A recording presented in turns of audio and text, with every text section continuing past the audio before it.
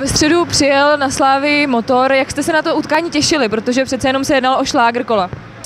Tak eh, byli jsme, myslím si, že všichni natěšení, věděli jsme, že přijde, že přijde hodně lidí a, a myslím si, že to utkání splnilo naše očekávání. Bohužel teda eh, bez bodového zisku, no, ale to je hokej. V utkání jste nakonec prohrál, jak byste to utkání zhodnotil?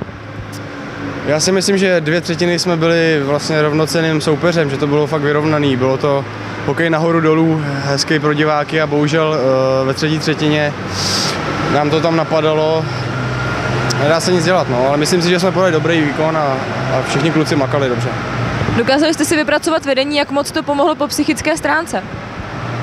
A tak to je vždycky důležitý vedení v každém zápase. Proto si taky myslím, že jsme hráli tak dobře ty, ty dvě třetiny, protože uh, vždycky se hraje líp, když vedete, než když dotahujete. Eh, Motor potom dokázal to utkání zcela otočit. Eh, Co se tam stalo? Proč se jim tak začalo dařit?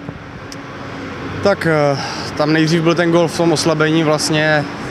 Já si myslím, že to fal nebyl, nevím. Rozhodčí to tak posoudil a bohužel tam byl odraz z, od zadního mantinelu a, a tam vlastně uklízeli jejich útočník do prázdn, takže škoda, trošku smůla.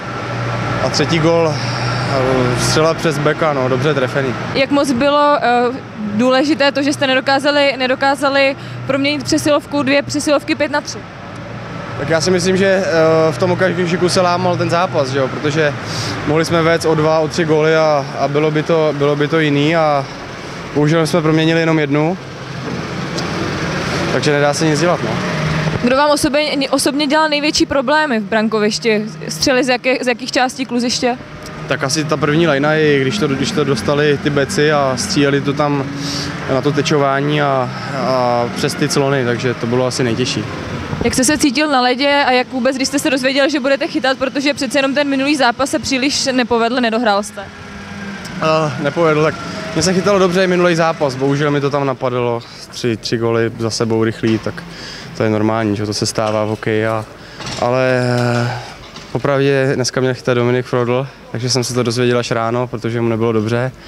Ale mě to nevadí, já nejsem ten typ golmana, který by to potřeboval vědět dlouho dopředu, takže snažil jsem se připravit co nejrychlejš a, a bohužel no, nevyšlo to tak, jak jsme chtěli. Ten zápas jste sice prohráli, co si ale odnést do dalších utkání? Tak já si myslím, že když budeme hrát stejně, nasazení, střely, bojovnost, tak, tak to je klíč úspěchu. Možná méně faulovat a že tam bylo dneska hodně faulů.